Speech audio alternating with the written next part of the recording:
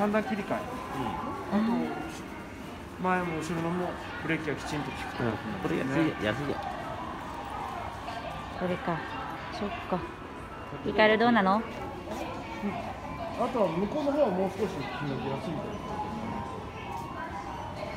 と見に行く秋葉さん。そうよね。うんどこだって秋葉さん？あとは色違いとあとサイズ違いですねこっちは27でこっちは26 26と27ああ27はでかすぎないでしょヒカル下からこっちだ26だ Nagka-canvas kami ng ano, bike para gagamitin ng ano, aking anak kasi junior high school na siya, di ba? Ayan.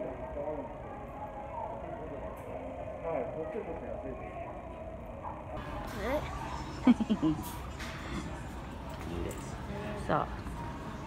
タイヤなんかはやっぱりブリヂストンなんで向こうの方が全然ね、うんなんか地図の薄いかもしれない ayan, namimili na yung aking anak.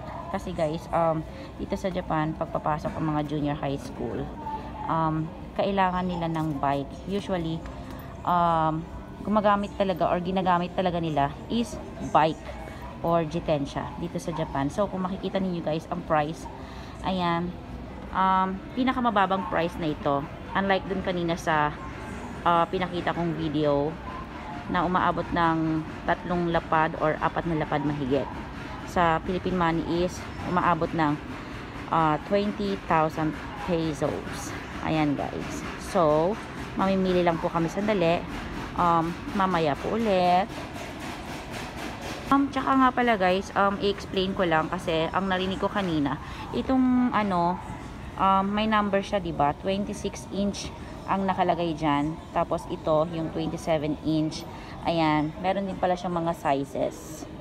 So, um, ayan, hindi pa kami makapag uh, decide kung alin talaga dyan ang uh, bibilhin namin. Ayan. So, kung makikita naman ninyo guys, diba, ang dami mga bike dito sa loob. Ang gaganda. Ayan. Pero, um, ang pagkakapaliwanag sa akin, um, sa mga bike ng junior high school, um, hindi pala halos pare-parehas ng bike. Halimbawa, pag gusto mo ng mountain bike na papasok, ganun. Hindi pala ganun, guys. Um, meron talaga palang bike para sa mga um, high school or junior high school dito sa Japan. So, ayan, guys. Nakikita ninyo, di ba? Ang gaganda ng mga bike. Ang daming bikes, guys. Grabe. Tapos, meron pang bike na ito. Itong bike naman na ito is bike ito. Um, dito yung baby, dito yung mama. Tapos, dito yung um, yung another baby ulit. Ewan ko lang kung pwede siyang sakyan dito. Pero pwede siyang um, maglagay ng isa pang upuan dito. I think. Yung parang ganito. Ganyan. Ayan. Uh, iyan yung maalala ninyo sa mga vlog ko dati. Merong Mama Chari akong binanggit doon. Yan yon Yan yon guys.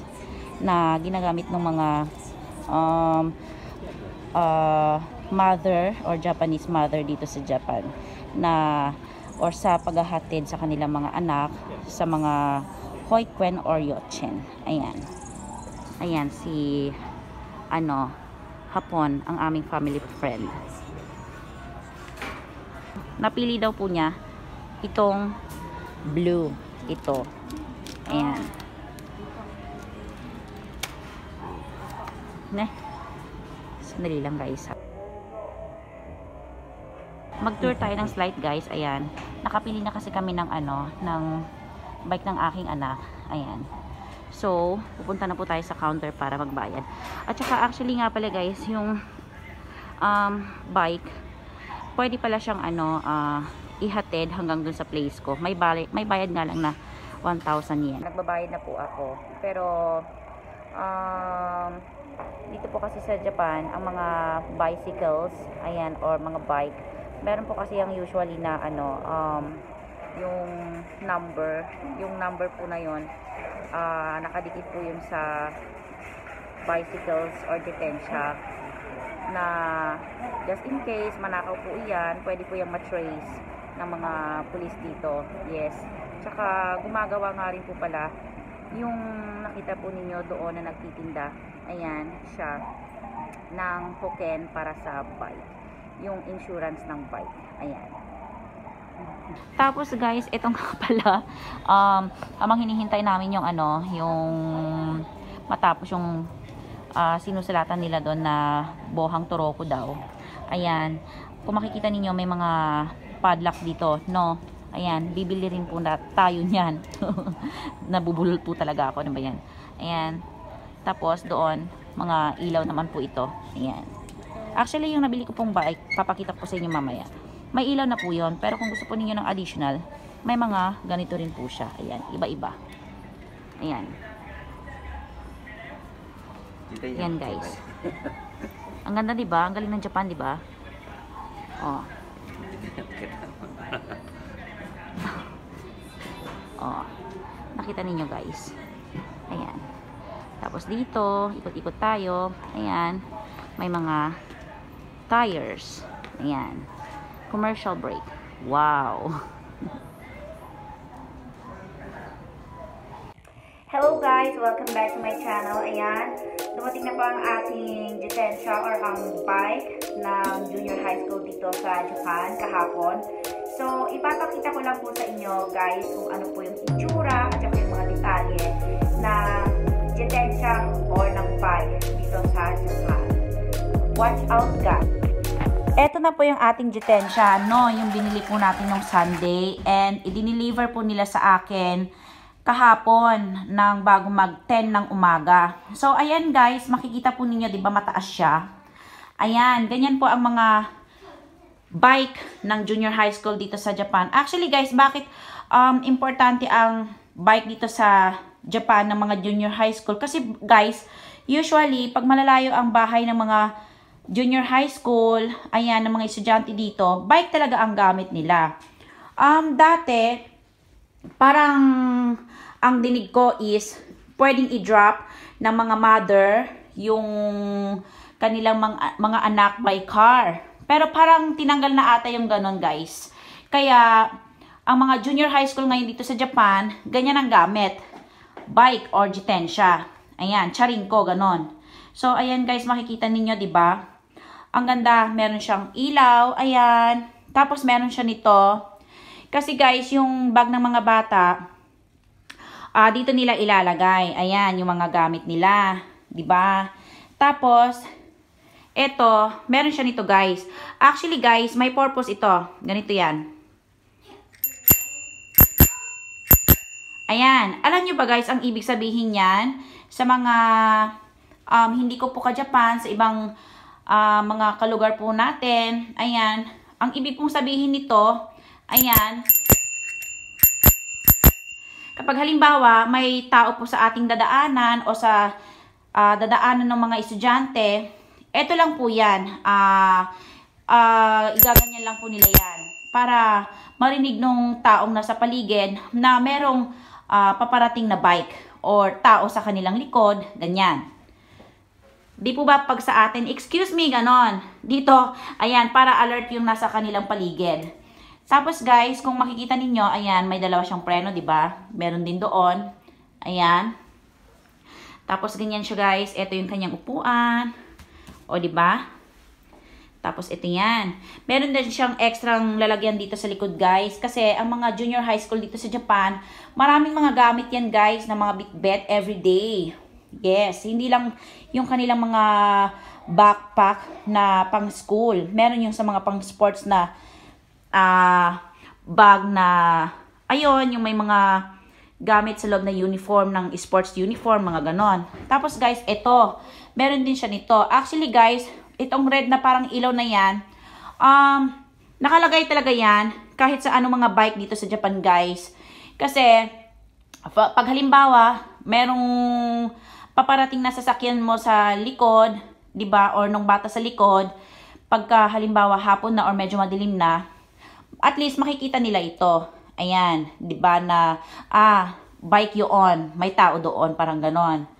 Tapos yan, may stand siya. Actually guys, itong stand niya, may lock ito. Nasaan na ba yung lock nito guys? Ito ata yun guys eh, itong, itong ano na to. Makikita nyo na to. Ayan, pwede siyang ilock para hindi matumba itong bike. Ayan. Um, ito nga rin pala guys, yung sinasabi ko po pala sa inyo na number. Ito, hindi ko na po siya ipapakita. Ayan. Ayan. Napaka-importante po ng details na yan dito sa bike ng mga bata dito sa, sa Japan. Actually, hindi lang sa mga bata dito sa Japan, no? Kung hindi pati din sa mga um, adult bike, mga ganyan. Basta mga bikes dito sa Japan, guys. Palagi yan na may makikitang yon yung nakita nyo na yellow sticker na yon may number yon Then, yung number na yon um, registration yon for anti-thief. Yes. Pag halimbawa, nanakaw yung bike mo, pwede mo siyang i-report sa police, sa police station Then, hahanapin nila yung bike mo. Ayan, hanggang sa kanila mahanap, ganon. Kaya walang kawala, guys, pag halimbawa nawala lang yung, ano, yung bike ng tao, no? Ganyan. So, ayan, guys. What do you think po sa bike ng mga junior high school dito sa Japan? Ayan.